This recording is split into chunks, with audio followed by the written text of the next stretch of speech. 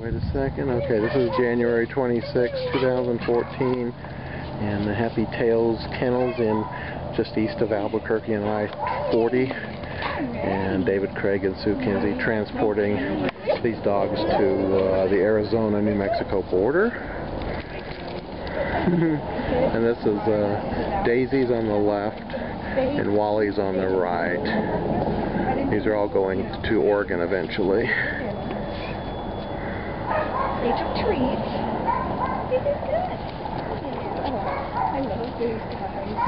Yeah. This little one's so sweet. They're both very sweet, but that one. And this is Dee from the Happy Tails Kennel. Okay, end of the movie. It's about a minute long.